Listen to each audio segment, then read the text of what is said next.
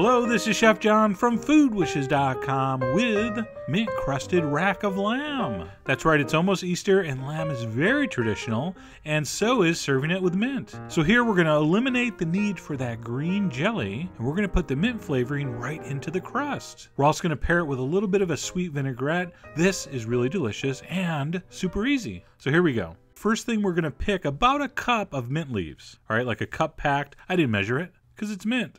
We're going to bring some water to a boil. We're going to throw the mint leaves in the boiling water. So basically what we're doing here is locking in that green color. Mint can get a little funky if you chop it, crush it, puree it in its raw state. All right, it can turn very dark. And you're going to literally just give this a few seconds. All right. So basically I gave it one stir. This is all in real time, by the way. And then I scooped it out into ice water to stop the cooking process. All right, as soon as that mint is cold, which is again only going to take a couple seconds because that's ice water, you're going to squeeze it out, wring it out as best you can. All right, get all the water out of that. Throw it in a blender or a small food processor. I'm going to throw mine in a petite Robot-Coupe. That was for my French chef friends, if I had any. All right, along with the blanched mint, we're going to add some garlic, some olive oil, not extra virgin, just regular olive oil, some breadcrumbs, some cayenne, some salt, and some black pepper. All right. So pretty straightforward. What we're going to do is we're going to put the lid on this and you know what's coming next. We're going to pulse on and off until it's all completely processed. And basically, you have a fine, somewhat green crumb. Smells amazing, by the way. So after about 20, 30 seconds of pulsing on and off, mine was done and looked like that. Looks pretty good. All right, so to finish this, we're going to add a little bit of freshly grated Parmesan, Reggiano, of course. And you could put that with the breadcrumbs in the food processor or blender. I just think it gets a little gummy, so I like to mix it in at the end. All right, so set that aside. That's ready. Next up, we need a little bit of a mustard sauce to glue this crust to the lamb. I'm using an herb Dijon. That's why mine's green. It has some parsley and tarragon in there. If you can find a green herb or a tarragon mustard, use it, but regular Dijon will work, no problem. And to that, I'm going to add a little spoon of honey, and that is it. Very simple. So I'm going to stir that in. I'm going to set that aside, and that is ready.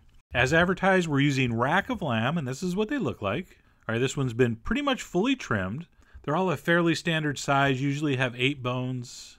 All right, they're usually Frenched, which is not as fun as it sounds. It just means the meat and fat is taken out between the bones. All right, and that silver skin, I don't worry about. If you want to spend time and trim it, go ahead. I really never had a problem not trimming it, never had a complaint, never had any silver skin stuck in my teeth. But I do do one little trick here. I take the knife and I make a little slice in between each bone, only about a half inch to an inch.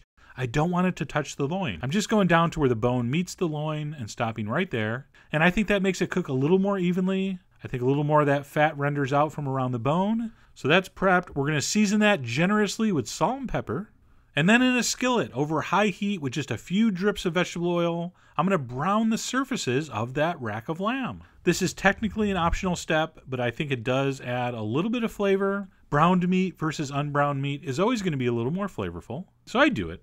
All right, so that's browned. We're going to transfer that onto our baking sheet that's been lined with foil. We're going to take our mustard and honey mixture and spread that over the surface. And yes, I'm going to put a little bit on the ends. And then I'm going to take my hand and kind of lay it against the front. And I'm going to pour on the crumbs. By the way, the crumb measurements I give you are going to be enough for two racks of lamb. And we're being very generous here. I'm really piling it on and pressing it in. And here's a little trick when I'm done, I'm going to sort of lift this up and place it on top of those excess crumbs so they kind of bake onto that bottom to give it a little extra crust. If you have an extra second, you can take a paper towel and wipe any excess crumbs off, but that's not a big deal. You shouldn't have a problem. That's going to go in a preheated 400 degree oven for about 20 minutes or until done, okay? But more about that later.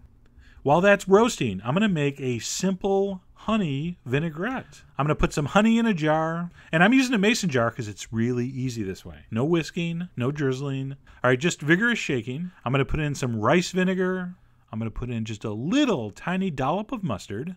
That's going to help emulsify this. And then whatever level that has come up to, I'm going to put an equal amount of extra virgin olive oil. We're going to season that with salt and pepper. I'm going to put on the lid. I'm going to screw it tight and I'm going to shake that vigorously until it's emulsified. And that's going to provide a beautiful little sweet balance to that tangy, minty crust. So that's done. We're going to set that aside.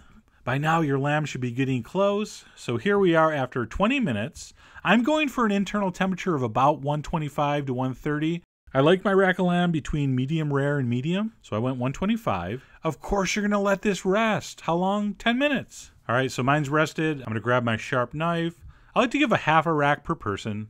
So I cut that in half. I cut that half in half, and I'm gonna give two of those beautiful sections per order. All right. So for me, that's a perfect medium. Medium rare is fine, like I said. Rare, not so much. Rare lamb fat is not a pleasant experience, in my opinion. All right, once your lamb is sliced and placed on your plate, we're going to drizzle over that gorgeous and slightly sweet honey vinaigrette. Look at that. Maybe a little fresh mint to garnish. And that's it. Mint crusted rack of lamb with a honey vinaigrette. I really need to taste this. The meat was perfect, juicy, tender.